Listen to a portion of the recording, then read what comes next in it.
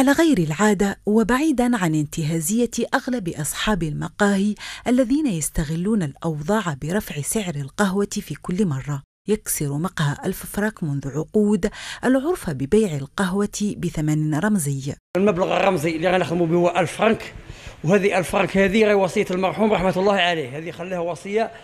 في الوقت اللي كانت الأسعار شوية تتزايد وبدا بدأ السعر يطلع شوية كان هو يجي هنا شوف شايفنا شايفنا الزواوله ما عندهمش.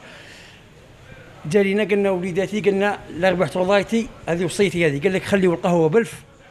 قال لك وإذا كانت كاين خسارة وكاين ديفيرونس تاع راح نتخسروا قال لك أنا ندخل ونزيد المبلغ هذا اللي خسرتوه أنتم أنت أنت من 99 هي بالفرنك اليومنا هذا ومازلنا محافظين على السعر هذا. حتى اليوم, اليوم الدين. هذه وصية المرحوم لا نقاش فيها. السعر هذا ما عنده حتى نقاش.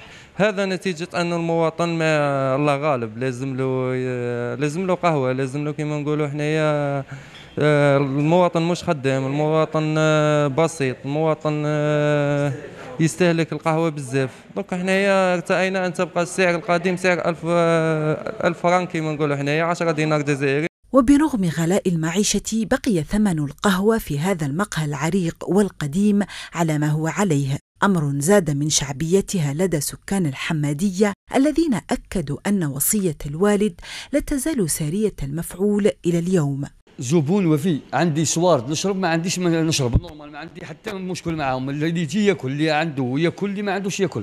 ما شاء الله آه، فاميلا ما عندي ما نقول لك أبويهم ربي يرحمه. كي زادت القهوة كانت ب 2000 ومن بعد زادت 3000 قال لهم ربي يرحمه قال لهم خليوها ب 1000 ما زادوش القهوة. الناس كل تهدر عليهم. كاين اللي راه يقول لك قهوة 1000 هذه آه، البن تاعها ناقص وديك وديك وديك يجي يتفضل. يجي يشرب قهوة ويشوف. ربي يتم بهم ويعجلها صدقة جارية على بويه ربي يرحم رئيس خي كريم. خي كريم. خلص الشعب. خلى ألف ودالف هذا هو كريم وسخي. وفيه رحمة رب العالمين. ربي يرحم آه، السعر هذا يعني أصبح رمزي.